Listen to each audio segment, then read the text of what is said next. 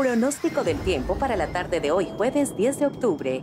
El Caribe colombiano advierte lloviznas dispersas sobre amplios sectores de la región, principalmente en zonas de La Guajira, Atlántico, Magdalena, Córdoba, Sucre, Bolívar y Cesar. El archipiélago de San Andrés lucirá cielo parcialmente nublado y espera lluvias ligeras sobre la mayor parte del área insular.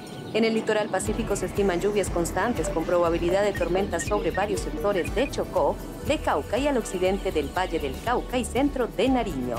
La región andina mantendrá las condiciones nubladas y es posible que se presenten lluvias de variada intensidad sobre Antioquia, los Santanderes, Tolima, Boyacá, Cundinamarca y gran parte del eje cafetero. Hacia el oriente del país continuarán las condiciones nubladas y se esperan lluvias sobre el occidente de Arauca y el oriente de Vichada. Sobre la región amazónica se prevén lluvias en sectores dispersos de Putumayo, de Guainía, Paupés, Guaviare y del pie de monte amazónico. La capital del país puede manifestar temperaturas entre los 10 y los 19 grados, con cielo nublado y posibles precipitaciones sobre el occidente de la ciudad. Presten mucha atención a las principales alertas a nivel nacional. Hay alarma por inundaciones en la Ciénaga de San Marcos y en San Benito Abad.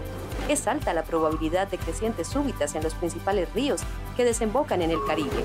Es alta la probabilidad de ocurrencia de incendios en varios departamentos de la región andina.